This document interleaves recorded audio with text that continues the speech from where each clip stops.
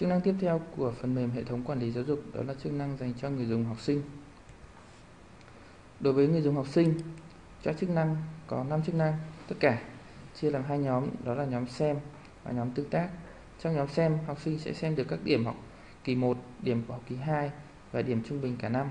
Đồng thời xem các sách giáo khoa do giáo viên uh, tải lên hoặc là hiệu trưởng tải lên.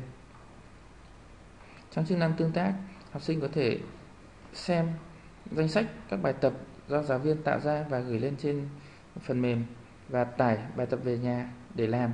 Sau khi làm xong, học sinh sẽ gửi bài làm cho giáo viên chấm điểm.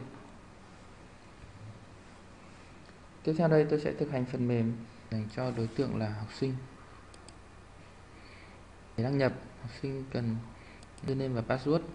Username đây tôi lấy ví dụ là hs51 và password đăng vào đây học sinh nếu mà dùng sử dụng trên máy của mình có thể nhấn vào nhớ đăng nhập để lần sau tự động đăng nhập vào. Còn nếu sử dụng tại các máy công cộng như máy của nhà trường hoặc ngoài quán net thì không nên tích vào đây. Ở đây tôi chọn nhớ đăng nhập để lần sau thể dễ dàng đăng nhập tự động và nhấn vào truy cập vào hệ thống. Đây là toàn bộ giao diện của chương trình dành cho đối tượng là học sinh. Có thể thấy là các chức năng cơ bản của đối tượng người dùng học sinh được liệt kê ở đây, bao gồm xem, điểm trung bình, các môn của cả năm đọc sách xem các bài tập được giáo viên giao về tra điểm học kỳ 1 tra điểm học kỳ 2 và phần đổi mật khẩu cá nhân. Tôi sẽ lần lượt trình bày các chức năng này. Đối với chức năng điểm trung bình môn của cả năm học sinh nhấn vào liên kết điểm trung bình môn cả năm. Ở đây có thể thấy điểm trung bình của học kỳ 1, học kỳ 2 và trung bình môn của cả năm. Do đây là tài khoản tạo ra để thử nghiệm cho nên là các điểm này đang chưa được giáo viên cập nhật. Nếu cập nhật sẽ được hiển thị hết ở đây. Tiếp theo là chức năng về đọc sách. Học sinh sẽ nhấn vào liên kết đọc sách. Các sách được uh, tải lên sẽ hiện ra ở đây và học sinh có thể chọn à, một sách để đọc. Ví dụ tôi chọn quyển địa lý 12 chương trình sẽ tải quyển sách dưới dạng à, flash vào và có giao diện rất là dễ dùng. Học sinh có thể bấm chuột vào bìa sách để có hiệu ứng lật trang đây là nội dung thực của cuốn sách địa lý lớp 12 học sinh có thể đến nhanh các trang khác bằng cách bấm trên thanh trượt này. Đây là trang 37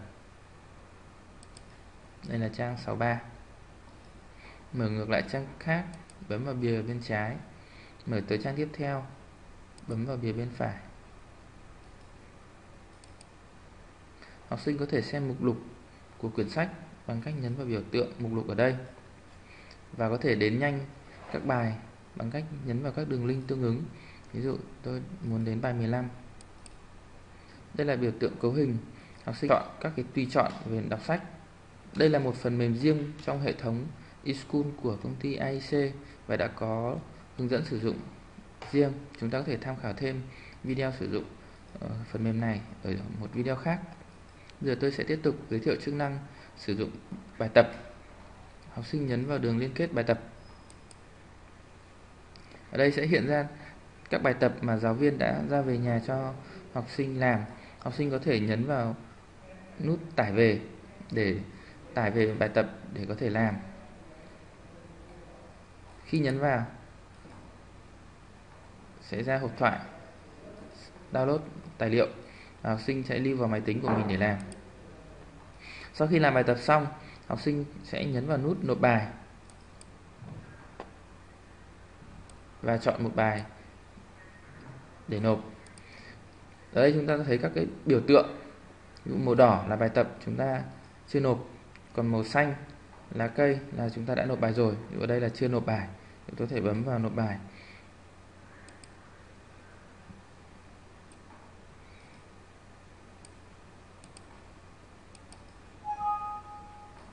Chương trình thông báo là đã uh, tải bài tập lên thành công.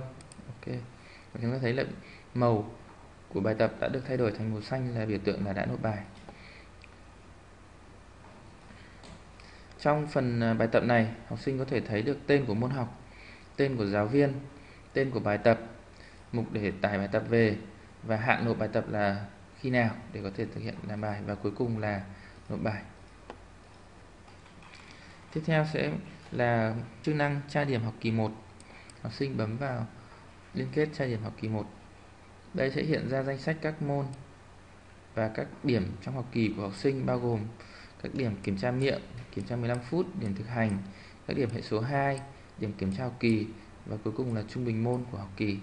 Các điểm trung bình môn này cũng có thể tra cứu được ở liên kết điểm trung bình môn cả năm.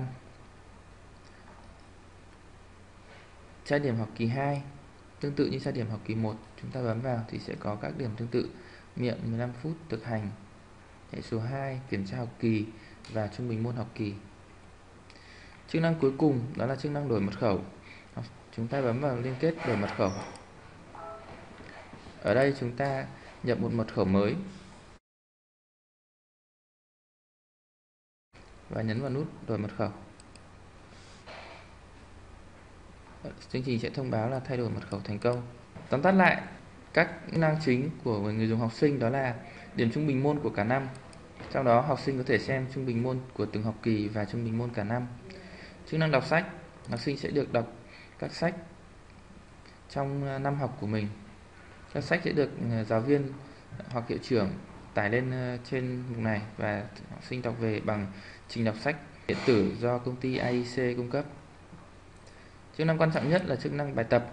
Học sinh nhấn vào link bài tập để có thể xem các bài tập ờ, về nhà do giáo viên giao và tải về bài tải về bài tập, nộp bài tập, xem hạn nộp các chức năng tra điểm học kỳ 1 và tra điểm học kỳ 2 sẽ cung cấp các điểm chi tiết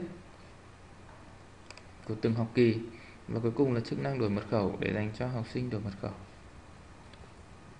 Sau khi sử dụng xong, học sinh có thể nhấn vào nút thoát để thoát khỏi phiên làm việc của mình. Tôi đã trình bày xong chức năng à, người dùng học sinh của phần mềm. Cuối cùng, tổng kết chức năng dành cho học sinh chúng ta có đó là đọc sách trực tuyến truy cập vào lớp của mình để xem điểm các môn học điểm trung bình học kỳ và điểm trung bình cả năm học sinh cũng có thể tải các bài tập do giáo viên tạo về để làm đồng thời sau khi làm xong thì tải bài tập đã làm để giáo viên lấy về và chấm điểm xem điểm bản của mình trên các môn học theo các học kỳ cũng như điểm trung bình cả năm. Vậy tôi đã trình bày xong toàn bộ chức năng của học sinh trong phần mềm quản lý giáo dục.